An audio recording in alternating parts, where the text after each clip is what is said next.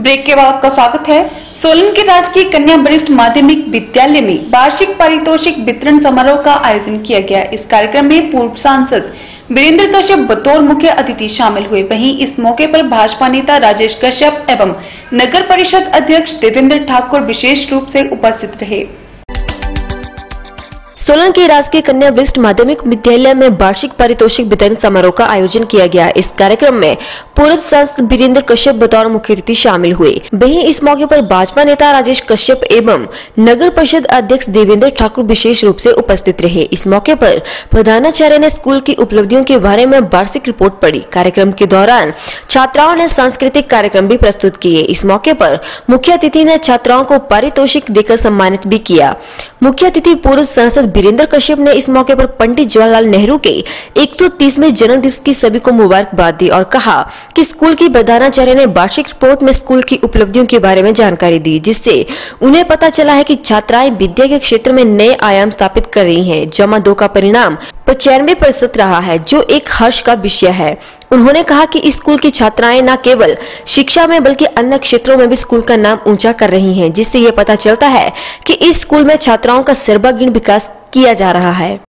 जवाहरलाल नेहरू जी के जन्म दिवस पर जो आज हम 130वां जन्म दिवस मना रहे हैं सारे देश में, मैं अपनी तरफ़ से सभी बच्चों को और देशवासियों को इस विशेष अवसर पर जो है अपनी शुभकामनाएँ देता हूँ।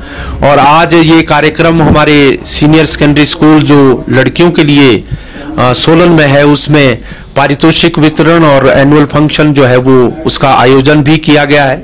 मैं स्कूल के प्रिंसिपल और उनके सभी अध्यापकों को और प्रबंधन समिति और सारे बच्चों को बहुत बहुत शुभकामनाएँ देता हूँ इस एनुअल फ़ंक्शन पर।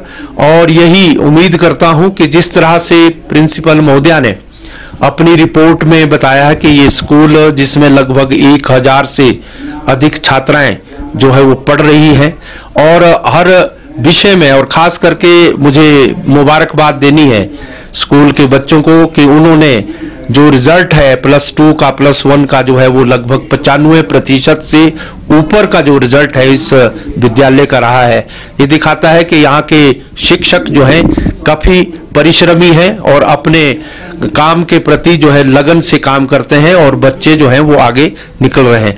अन्य जो यहाँ के कार्यक्रम है, उसमें भी बच्चियाँ यहाँ पर अपने अध्यापकों के सहयोग से, उनके आशीर्वाद से विभिन्न गतिविधियों में, चाहे वह एनएसएस है, चाहे वह एनसीसी है, चाहे इको जो हमारा इकोसिस्टम से संबंधित स्वच्छता का अभियान है, उस सब में जो है वो अच्छा कार्य कर रही हैं। इसलिए भी मैं आज इस अवसर पर बहुत बहुत स्कूल को और स्कूल के मैनेजमेंट को बहुत बहुत मुबारकबाद देता हूँ।